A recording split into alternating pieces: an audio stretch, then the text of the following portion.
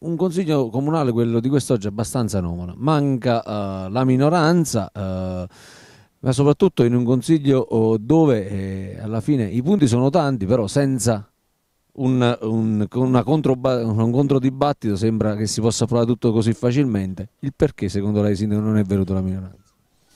È un problema che eh, bisognerebbe rigirare alla minoranza perché io penso che chi è assente ha sempre torto.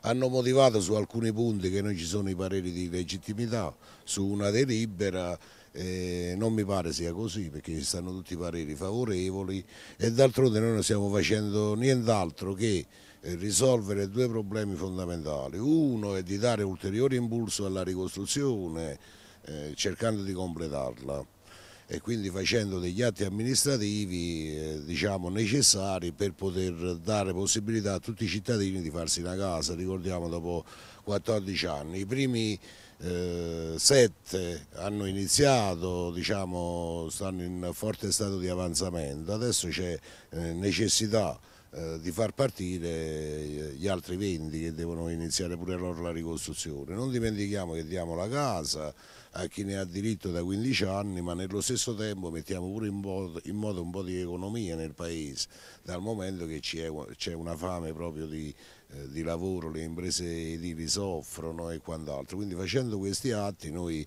eh, stiamo cercando di far uscire il nostro paese dalle, dalle secche di una crisi che sta coinvolgendo diciamo, quasi tutta l'Europa. Sindaco, oh, sono addirittura d'arriva, oh, sappiamo benissimo il Palazzetto dello Sport aspetta solo oh, il al via dei lavori.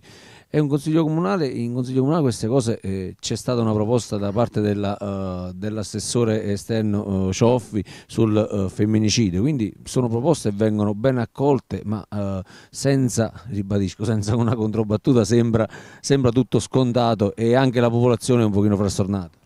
Vabbè, questi sono i fatti. Il palazzetto dello sport sembra una cosa così. Noi abbiamo intercettato un finanziamento europeo, eh, ci abbiamo lavorato eh, da mattina a sera, eh, dopo tre anni di una lunga burocrazia abbiamo fatto il contratto, abbiamo consegnato le carte a Roma, settimana prossima ci danno l'ok e quindi faremo una bella manifestazione di inizio lavoro e non è una cosa da poco in questo periodo e quindi è un vanto, un punto che l'amministrazione aveva promesso nella campagna elettorale e che si realizza.